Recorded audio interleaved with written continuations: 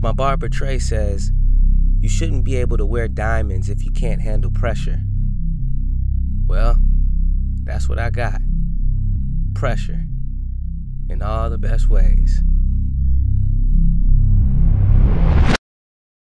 2018 was a pivotal year, though, a year of growth.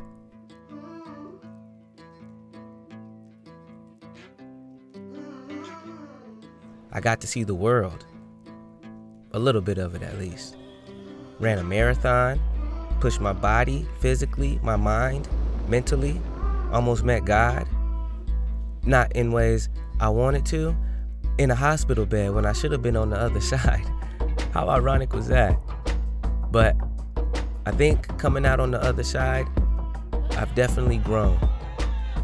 I earned my diamond, or two. They say good things come back around. So, tune in tonight. You might see a familiar face.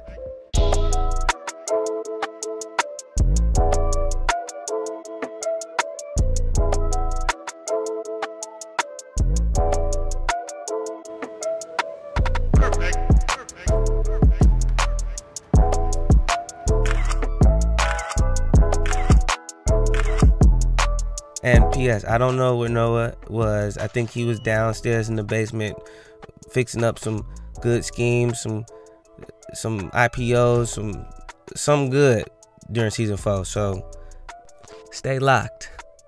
Season five is gonna be one hell of a ride.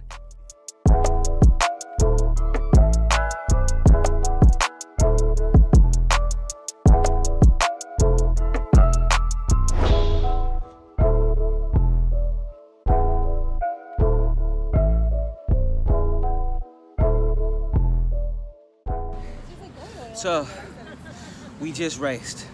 I want y'all to guess who won. What Me? Are you, what are you talking about? What is he even talking about? or sister? Whatever he said was a lie.